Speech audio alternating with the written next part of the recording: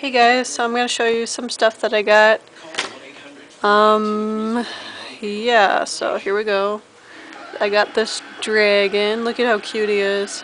He's from Toys R Us. I don't know if he's at every Toys R Us, but he's really cute.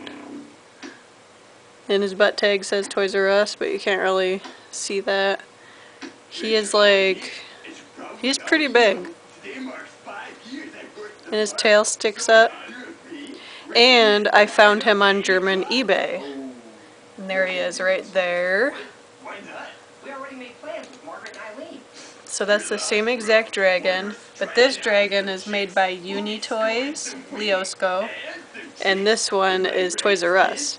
So it's still the same exact dragon. But the probably one of the companies made it for the other, and then they put their name on name on it and paid them for it. So that's what that is all about. He is so cute. I love him. So I got him from my fiance. His name is Dewey.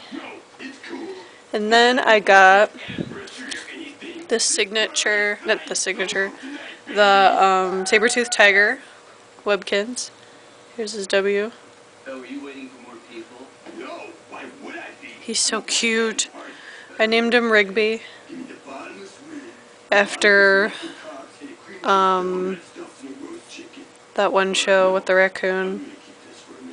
But yeah, he's so adorable. I love his teeth. I love his whiskers.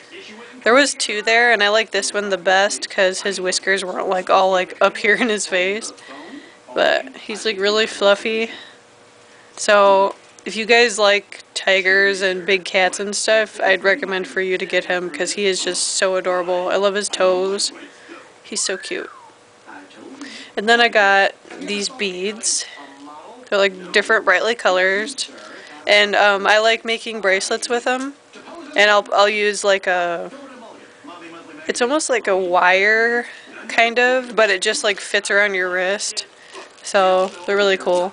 I'll show you guys my bead collection too. I have like a bunch of tubes. I got this from Joann Fabrics. And then I finally got the scar. So my collection is complete. I got Big Scar by Little Scar. And then Big Simba. So yeah, I'm glad that I got Scar.